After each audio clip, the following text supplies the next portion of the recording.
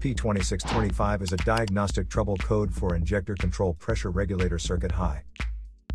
Under this circumstance, short distance driving is permitted, but your vehicle should be repaired ASAP.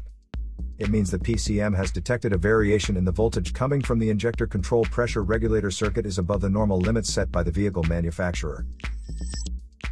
If you want to fix car problems, check out the videos here. You're also welcome to leave comments below, our mechanic professionals will answer them shortly. Don't forget to like and subscribe to our channel. Thanks again for watching this video.